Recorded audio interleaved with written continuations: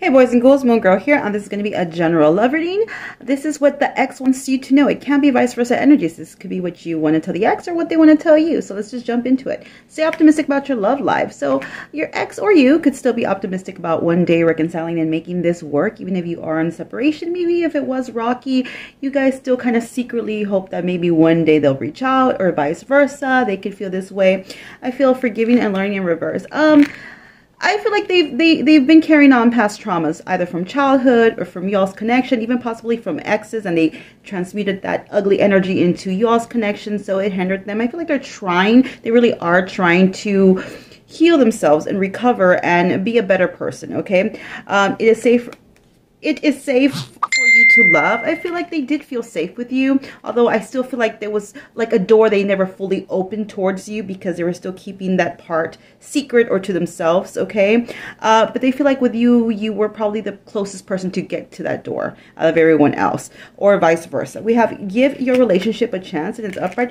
I feel like they still hold a candle for you. I feel like they still hold some sort of hope that one day maybe you guys can work something out, you know? Um, I do feel like this person was very domineering, okay, very controlling, my way or the highway, okay. There could be little to no communication with this person, or there was towards the end. Uh, you may be viewing them as a fuck boy or a fuck girl, or vice versa. They could be viewing you this way.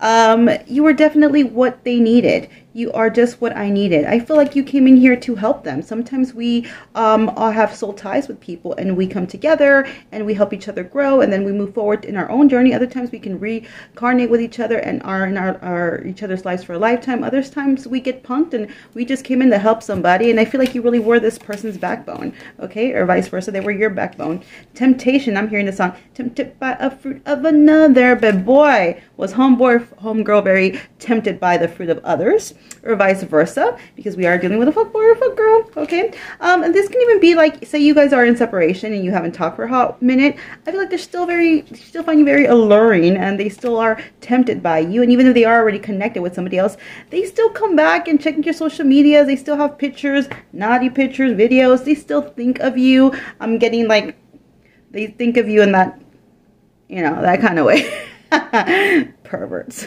but this is what I have for you guys. You know what? Let's pull out some other ones really quick. I still have time. I'll never forgive you. So you may feel like, nah, bro, I'll never forgive you for what you did, okay?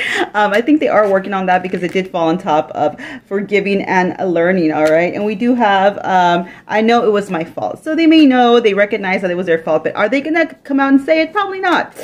Attraction, they're still very much attracted to you, either aesthetically or otherwise. It's always stay magical.